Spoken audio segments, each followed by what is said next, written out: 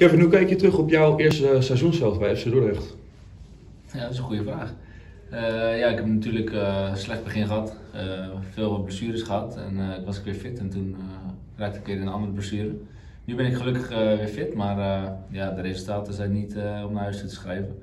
Dus dat moet het tweede seizoen zelf veel beter. Zaterdag is nog de wedstrijd tegen jouw oude club. Brengt dat nog extra gevoelens met zich mee? Uh, nee, ja, het is mooi om tegen Excelsior te spelen. Ik heb er vijf hele mooie jaren gehad, goede tijden meegemaakt, de Eredivisie mogen spelen.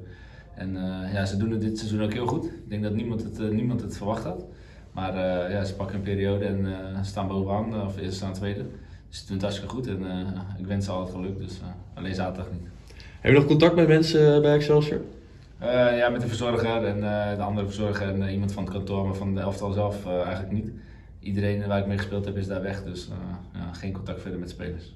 Ja, je zei het zelf al, vorige week hebben ze de periodetitel gepakt, weer een moeilijke tegenstander.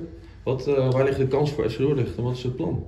Ja, ik denk dat we hetzelfde plan moeten doen als tegen Emmen. Dat, wat we gedaan hebben is uh, verdedigen en hopen dat we op de counter er, eruit kunnen komen. ik denk dat onze kracht ook wel ligt in tegenstanders die echt willen voetballen. Dat we zelf ook wat meer ruimte krijgen. En dan moeten we zelf goed tussen de linies en zelf ook goed, goed voetballen. En niet alle ballen hard naar voren schieten. Maar het zou fases wel gebeuren, denk ik. Maar we moeten zelf gewoon van onze voetbalkwaliteit uitgaan. En dan, moeten we hopelijk het seizoen of de winststop goed afsluiten.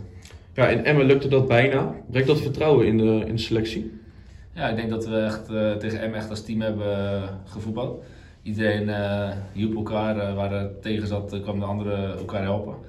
En ja, het is zonde dat je hem echt, wat was het, 94 minuten volgens mij, je krijgt hem de, de 2-1 tegen. Ja, dat is heel zuur. Zeker als je hard gewerkt hebt, hoop je resultaat te halen. En, ja, dat is heel jammer dat je dan zo lang weer terug in de bus moet. Ten slotte, bijna winterstop. Vind je het jammer dat, uh, dat winterstop is of was je er wel aan toe? Ja, ik moet zeggen, ik ben er ook wel aan toe, want het uh, eerste seizoen zelf is niet uh, heel lekker verlopen. En vakantie is altijd lekker natuurlijk, kan je even de focus ergens anders op leggen. En ja, in januari weer opnieuw beginnen en uh, moet veel beter. Dankjewel. Ja, alsjeblieft.